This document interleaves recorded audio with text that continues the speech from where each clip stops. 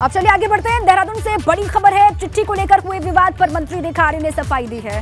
शिवालय में जल चढ़ाने के विवाद पर मंत्री रेखा आर्य बोली है। जल चढ़ाने को लेकर कोई बाध्यता नहीं थी। रेखा आर्य ने कहा बड़ी जानकारी आपके सामने है। देहरादून से चिट्ठी को लेकर विवाद जो हुआ, उस पर मंत्री रेखा आर्य ने सफ़ाई दी। उन्होंने कहा है कि जल चढ़ाने को लेकर कोई बाध्यता नहीं थी।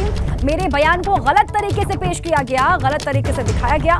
और पत्र में कर्मचारियों, अधिकारियों को जलाभिषेक करने का निर्देश आया हुआ था और इस पर विवाद भी खड़ा हुआ। इसी बयान पर सफ़ाई दी है। जो निर्देश दिए गए थे, उसी पर सफ़ाई दी है मंत्री रेखा आर्य ने। शिवालय में जल चढ़ाने के विवाद पर उन्होंने कहा है कि मंदिर में जल चढ़ाने को लेकर कोई बाध्यता नहीं थी। और मेरा जो बयान था, उसको गलत तरीके से पेश किया गया, गलत तरीके से दिखाया गया, ये बड़ी जानकारी है। अधिकारियों, आप जानते हैं कि अधिकारियों, कर्मचारियों को जलाभिषेक करने का निर्देश दिया गया था।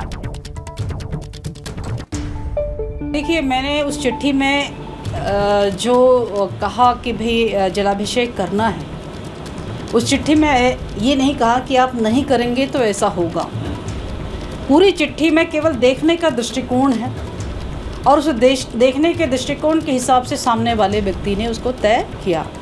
और विशेषकर जिस दल की आप बात कर रहे हैं, उस दल ने कभी भी बेटियों को लेकर कोई काम किया ही नहीं, कोई संदेश दिया ही नहीं।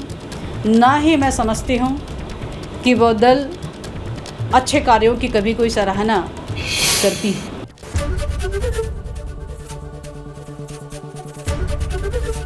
एबीपी गंगा खबर आपकी जुबा आपकी।